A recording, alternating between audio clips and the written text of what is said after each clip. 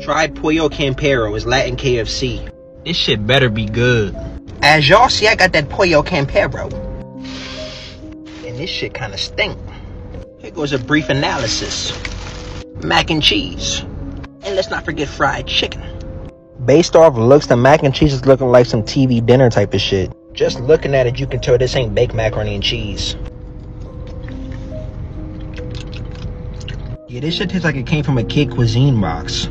I wouldn't eat this shit if my life depended on it. Now we got the chicken. And this hoochie mama crispy as hell. Just listen to the crisp. You hear that? Crunchy.